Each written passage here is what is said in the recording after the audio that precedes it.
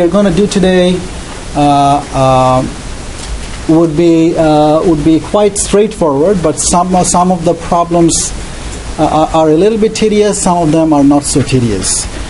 Um, so first of all, the first, if you look at my handout, you'll see that uh, there are three types of integrals that we we are going to look at. The first is the there are so in the first category of integrals uh, we have these three types of integrals. Uh, we have the integral where the integrand is sine mx times cosine nx. The second integral is uh, the second integrand is sine mx uh, sine nx. The third one is cosine mx cosine nx. Now to be uh, uh, to be correct, I should be writing uh, parentheses around around the angles, right? So mx is the angle for sine, nx is the angle for uh, cosine, but I would be sloppy. Uh, I wouldn't write those usually. Now, yeah, where? Number two on the left. Uh, oh yes, uh, thank you. Um, so you're talking about this one, right? Yeah, it's uh, it's got to be sine. Uh, I think I have sine in my notes, right? Okay, the second integrand is sine mx sine nx. Uh, okay, so how would I uh, how would I evaluate these three types of integrals? Well, uh, the trick is basically apply uh, certain uh, trig identities. So for the first integral, you have to apply the uh, identity uh, sine A cosine B is equal to half of uh, sine A minus B plus sine A plus B. For the second integral, you have to apply the identity uh, sine A sine B is half cosine A minus B minus cosine A plus B. For the third integral, you have to apply uh, the identity cosine A cosine B is half cosine A minus B plus uh, cosine A plus B. Um, so, um, so again, uh, the way we are going to handle these integrals is by applying those identities. Okay. All right. So uh, let's let's do a few examples of of, of these types of integrals. So. Um, my first example would be, let's say, I have the integral uh, 1 over 4 uh, times, uh, well, let's not use uh, fractions, I don't want to make, let's use a 3 here, and let's say I have uh, sine of uh, 3x and cosine of uh, 5x dx. Let's say that's the integral that I have to evaluate. How would I do it? Well, um, I am going to apply the corresponding identity that I need. So this would be equal to, uh, let me uh, write it as 3, and then what is uh, what is the identity for this product? Well, uh, you have to think of uh, you have to think of 3x as the angle A, and you have to think of 5x as the angle B in the formula. Okay. So what is sine A cosine B? It is uh, it is half times uh, sine A minus B, which is what 3x minus 5x plus uh, sine of a plus b, which would be 3x plus 5x dx. So this is equal to the integral of 3 half. Okay, so what do I have here? I have sine of negative 2x uh, plus sine of 8x. Is everybody okay? And all right, so this is equal to the uh, integral of 3 half. Uh, can someone tell me what is uh, sine of negative 2x? I can say that sine of negative 2x is the same as negative sine 2x. Sine is an odd function. And I, I, I can write this as sine 8x. Is everybody okay? You guys are so sine of negative theta is the same as negative sine theta.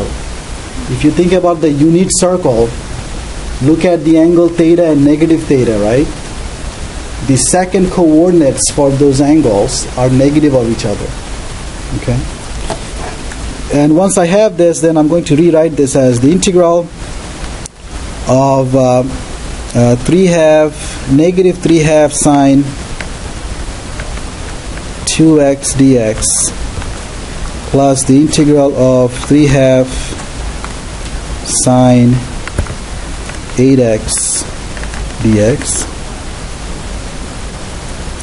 Um, let me write one more line here. Let me factor out those uh, constants so I get sine 2x dx plus 3 half integral of sine 8x dx. Now, can someone tell me what's the antiderivative of sine 2x? Let me do some scratch work in red. Uh, that is, what, what we need to find is what's the integral of sine of some constant, let's say c, multiplied with x. Right, that's what I need to find. Integral of sine of cx, where c is the constant. What is that integral? Well, we could do a substitution, right? u is cx, and then what would be du? du would be c dx. In other words, I could say 1 over c du is uh, dx. And um, and so then this integral here is equal to the integral of sine u uh, sine of u times 1 over c uh, du, right? And then I have 1 over c outside and the integral of sine of u du. You agree with that? And what is that equal to? 1 over c negative cosine of u negative cosine of u right? Um, and I should be saying plus some constant right? Because I already used c uh, let's let's use something else like uh, uh, I don't know beta okay? So this is equal to uh, negative 1 over c times cosine of u, right? Plus that beta. Let's just ignore the beta for now. Just the main part of the integral is what? Negative 1 over c times cosine of u, right? I wish I didn't use c. I used something else. Uh, but my, my point is then, what did we get? The integral of sine. Let me change c with something else, okay? Let's use a. What is sine integral of sine ax dx? What we found out, so c is a. Negative 1 over a. Negative 1 over a cosine cosine of what? ax, right? Remember, I once I found cosine of u, I have to replace u by cx again, right? u was cx.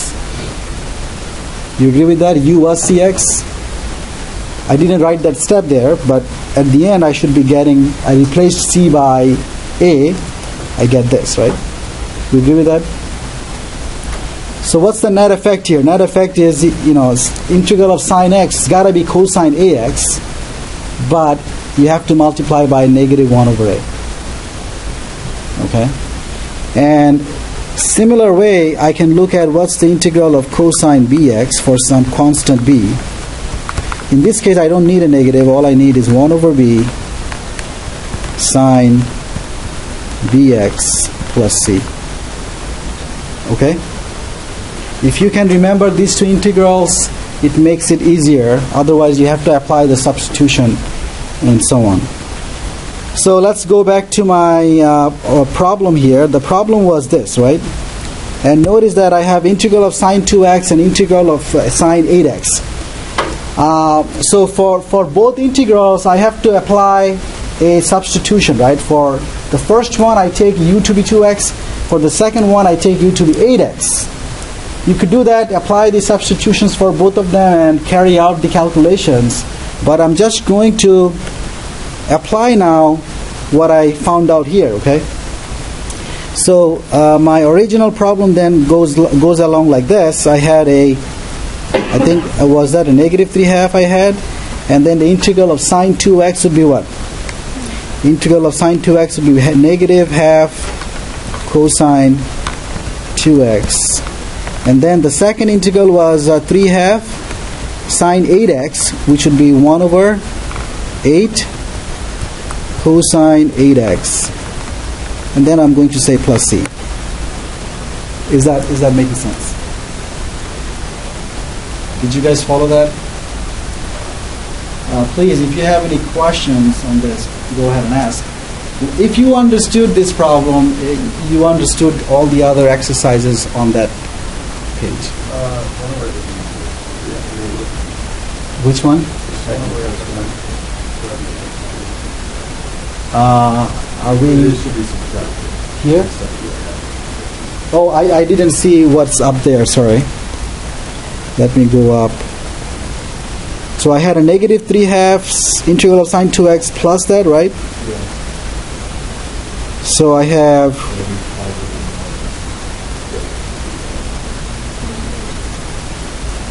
I'm sorry? Second one should be three half, three half times negative.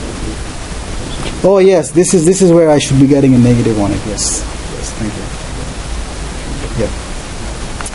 All right, so uh, so that's the and one more step would be to multiply out those constant numbers. Okay, so I'll let you let you do that. Any questions on any of the steps?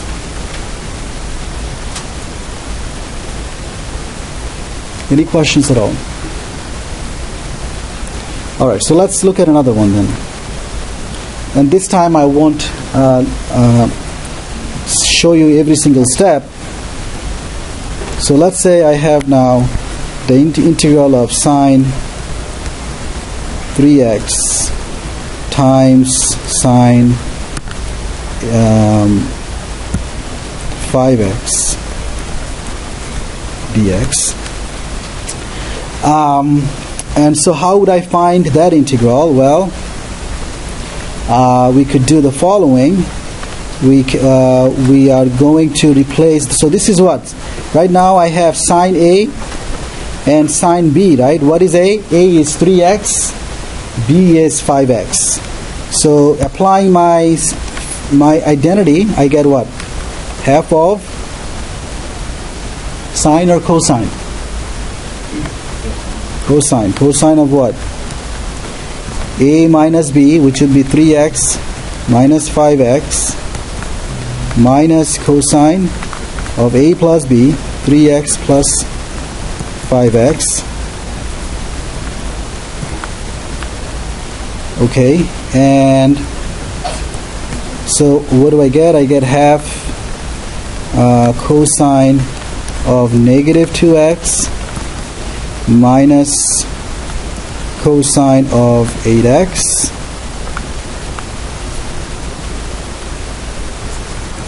let me put a half here. dx. Um, so uh, can I write this as half? Uh, let me write maybe one one more line. Half what is cosine of negative 2x that's the same as cosine of 2x, right? Cosine is even. So minus half uh, cosine of 8x uh, dx. Is that okay? Cosine of negative theta is just cosine theta, yes. Uh, well, it's going to make my answer look uh, prettier. Otherwise, in my answer, what, what I'm going to get is uh, sine of negative x. I'm going to get something like negative sine of negative x. Right? That's, that's, that will be the difference. But you can, if you don't change that at the end, you can write sine of negative x is negative sine x. That'll, that'll be fine too, yes. So this is equal to, so you uh, uh, this is equal to uh, uh, half times the integral of cosine 2x dx minus half integral of cosine of 8x dx. And now I'm just going to quote my work in uh, red ink. I had half integral of cosine 2x would be half sine 2x uh, minus half integral of cosine 8x would be 1 8 sine 8x and then plus a c plus a c at the end. Okay. Remember in red, the work we did in red, uh, if you don't want to memorize that or don't want to remember that, what would you do when you came to the uh, to the second la- last st- step? You are going to apply u substitution by taking u to be 2x and u to be 8x, right? For the two integrals. Uh, and then carry out the calculations, yeah. There's a lot to, Yeah. Yeah, I just have a question in regards to something there. Um, there. So you have one half cosine negative two x, Mhm. and I'm sure you said this, I just wasn't paying attention. Mhm. Um, where does the negative go once you cross that? Yeah, so uh, you, what you have to remember is that, let me write it in red, uh, cosine of negative theta is the same as cosine theta. Okay, let me let me draw a uh, unit circle, let's say, and uh, my scale is going to be pretty bad, but let's work with that. Uh, so um, suppose that this is a theta and this is a negative theta, right? So then if you these two points are symmetric to each other, right? Uh, they are reflections of each other ac- across x-axis. Now, uh, what is the uh, cosine of uh, negative theta? Cosine of negative theta is the uh, first coordinate of this point, right? the first coordinate which is which is this which is the length given by the green length is cosine right oops so the green line length segment is cosine and which is the same for both angles right am i making sense so that's why cosine of negative theta and cosine theta are the same right cosine theta is the first coordinate of the uh, of the uh, point on the unit circle corresponding to the angle, right? All right, so so again, I, I was talking about the green line segment. That's the value of cosine theta and cosine negative theta. Uh, they're the same. All right, so um, all right, so you get that. Uh, any any other questions? Okay, if you uh, um, you know if if uh, you know in calculus calculus one we used uh, trigonometry, but not a whole lot. But in this course, we are going to uh, maximize our use of uh, trigonometry. Okay, and and so you have to be on top of. Uh, uh, you have to know all the different identities that that that we're going to use in from trigonometry and um, so uh, my, uh, I would I would say that if you still feel uncomfortable with trigonometry, go back to the uh, the review that, that I did in trigonometry in Calc One, uh, and and uh, see if you can um, remember those. Okay. If you feel uncomfortable with trigonometry, I think you're going to have a great deal of, of trouble uh, in this course. All right. So, and uh, all right. So, I'm not going to do any more examples on this type of integrals. Let me move on to the uh, uh, the second category of integrals that we want to look at. Uh, so, uh, so my next uh,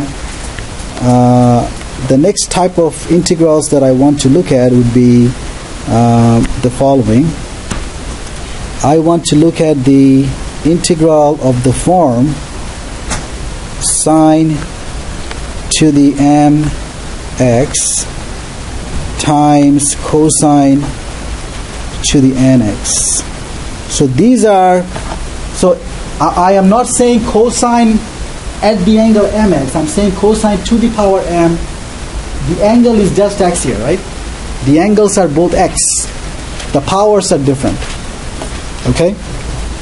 So now I want to know how I can uh, evaluate integrals where the integrand is a product of powers of sine and cosine. Okay? And the strategy that you need to follow to evaluate an integral like this depends on the parity of the powers. So what do I mean by that? Oh, it is x. It is it is going to be it should be x. It should be x. All right. So uh, how would I do it? Well, it dep- the strategy depends on the parity. So what do I mean by that? My first case would be the first case is uh, when n is odd, which means that the, the exponent on cosine is odd. In that case, what should, should you do? So I'm going to explain that by using an example.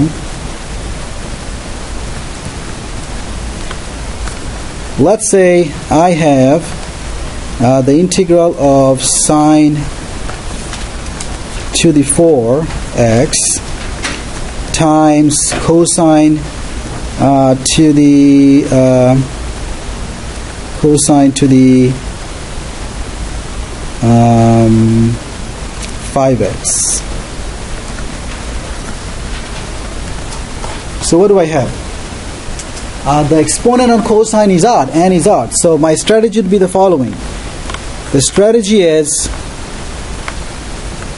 uh, don't disturb uh, sine but break up cosine that is you're going to save a factor of cosine save a factor of cosine and write it together with dx and then what what's the remaining power of cosine the remaining power of cosine is cosine to the 4 right so the strategy is save a factor of cosine and then the remaining power of cosine must be transformed into sine. Okay? So my next step is uh, sine to the 4x. How, how would I do that? Well, note that cosine to the 4 is the same as cosine square x to the 2 multiplied by cosine x dx. And what, if I want to convert cosine to sine, what identity can I can I use? Very good. So this would be 1 minus sine squared x to the 2 cosine x dx. Alright? Again, save a factor of cosine if the exponent on cosine is odd, save a factor of cosine, the remaining power of cosine would be even, so you can write that as cosine to the 2 to the something, and then convert that to sine. And then you're going to make a substitution. The substitution will be take u to be sine. And then du would be what? du would be cosine x dx. That's exactly why we saved a factor of cosine. If I take u to be sine, du would be cosine dx. And once I have this, I can rewrite the entire integral as u to the 4 1 minus u squared squared and then du. What is so nice about it is that I had a I had an integrand involving trig functions and all of a sudden I have an integrand which is just a polynomial. I transform the trig function into a polynomial function, right? And, uh, and, and everybody knows how to handle a polynomial function inside an integral. What is that? Well, unfortunately, I have to do some arithmetic here, right? I have to uh, I have to rewrite the 1 minus u squared squared. You have to FOIL it, okay? You have to multi- multiply that out. So what am I going to get? I am going to get 1 minus 2 u squared plus u to the 4, right? If you if you expand that square, and then I will multiply out u to the 4 minus 2 u to the what? 6 plus u to the 8 usually mistakes happen in, in, at this step because sometimes instead of adding the exponents people might multiply the exponents okay? And so this would be what? U to the 4 what's the integral of u to the 4 1 fifth u to the 5 minus 2 over 7 u to the 7 plus 1 over 9 u to the 9 plus uh, c. Am I done? One more step because it's indefinite integral, right? I have to uh, replace u by what I took it to be. u was sine, right? So this would be sine to the 5x minus 2 seventh sine to the um, 7x plus 1 ninth sine to the 9x plus a c. Uh, is everybody okay with that? Did that make sense? Okay, let me go back again. So once again, I had an integrand where, where the integrand is a product of powers of sine and cosine. It happens that in our example, the, the exponent on, on cosine is odd. Then my strategy is save a factor of cosine. The remaining even power of cosine can be written as cosine squared to the power something. And then cosine squared can be converted into sine and then uh, I am going to substitute u equals to sine x and then carry out the calculation after that. Uh, question, what if I switch the exponents on sine and cosine? That is, if, if instead of having this, what if the exponent on sine is odd? What, what can I do? You do the same thing except I do the I switch the roles of sine and cosine, right? In that case, when the exponent on sine is odd, you save a factor of sine. You save a factor of sine, and then you uh, uh, you write the remaining power of sine uh, in terms of cosine, and then substitute u equals to cosine. Did that make sense? Is everybody okay with that? So I won't do that case. So there are two cases we have looked at already. When the exponent on sine is odd, when the exponent on cosine is odd. What other cases left? If both of them are odd, I'm done also because if both of them are odd, I can follow either strategy. Yeah. That's the only case that is left. Okay, so now we, we are going to get into what if both of them are even. Is everybody clear? My case all my cases are done except for when both of them are even. Okay? So now let's look at the case. when when m is even and n is even as well.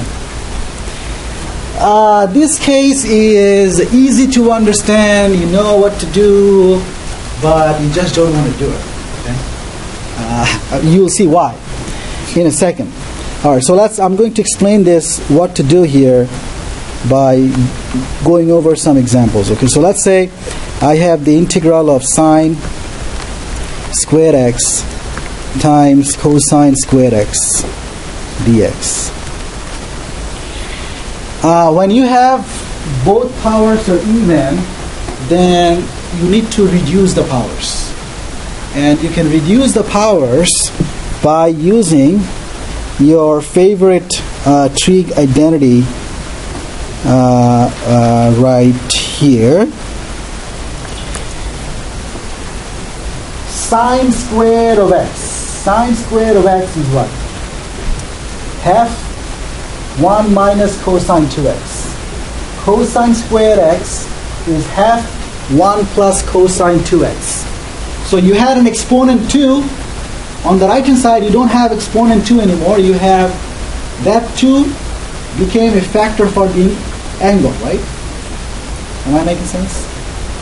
So notice that there, I don't have any exponent on cosine on the right hand sides. So sine squared x is half 1 minus cosine 2x. Cosine squared x is half 1 plus cosine 2x. We are going to apply those two and reduce the exponent um, uh, of the uh, of the uh, factors. So let's go back to the uh, problem then. Um, okay, so this is the integral that I had. So this would be equal to um,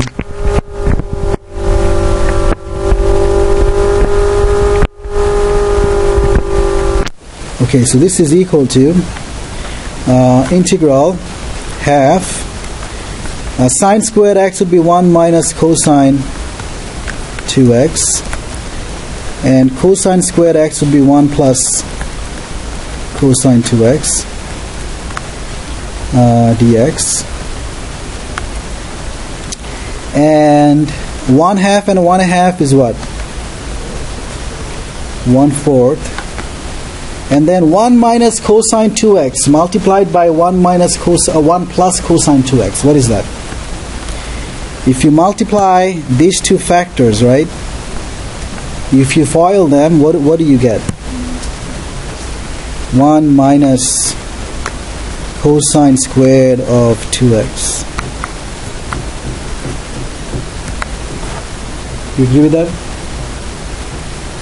1 minus cosine squared of 2x. If you multiply them out, 1 minus cosine 2x, 1 plus cosine 2x, multiply them out, FOIL them, you, you, you, you get that. Now, uh, you might say, well, you tried to reduce the uh, uh, even power, now you get another one. Well, a good thing is I have only one. I had two before, now I have only one.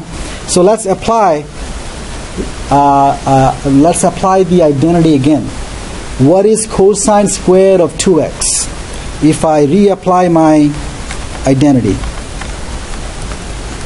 So this would be 1 minus. What is cosine squared of 2x? That's the square identity of Uh, actually, if you don't mind, let me do one intermediate step here. I'm going to multiply by 1 fourth, so I'll be getting this. Whoops.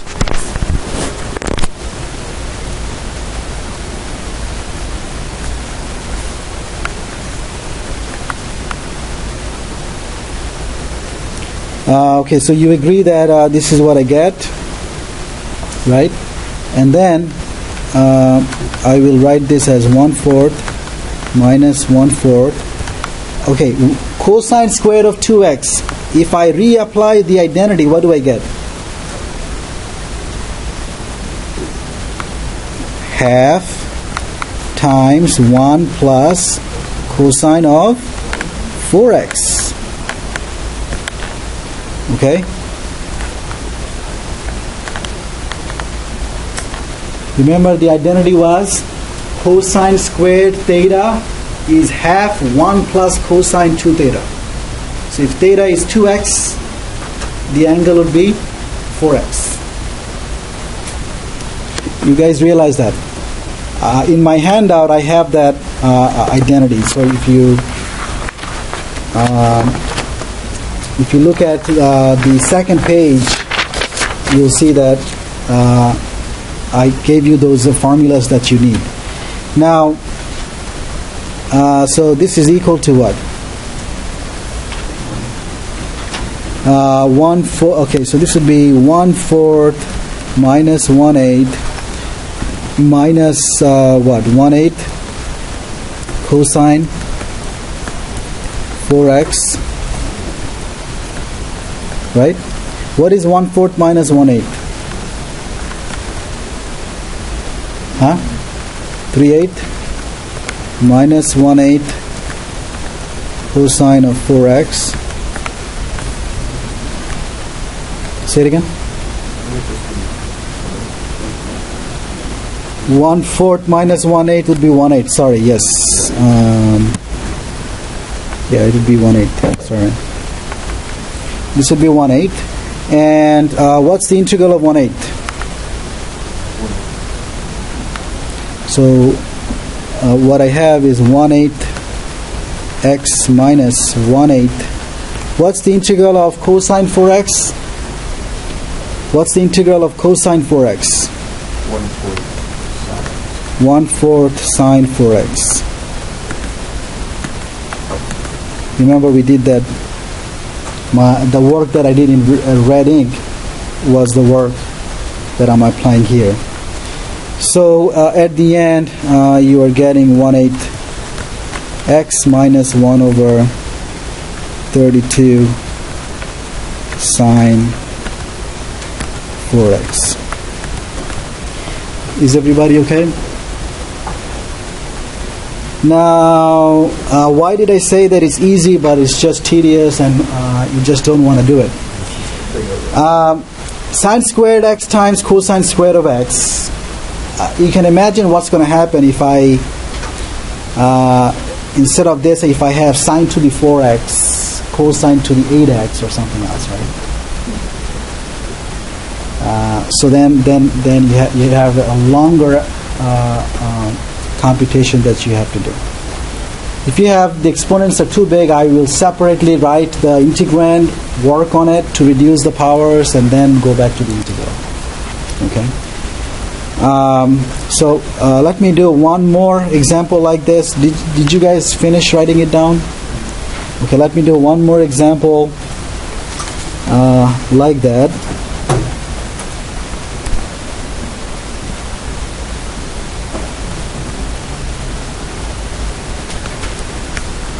I have sine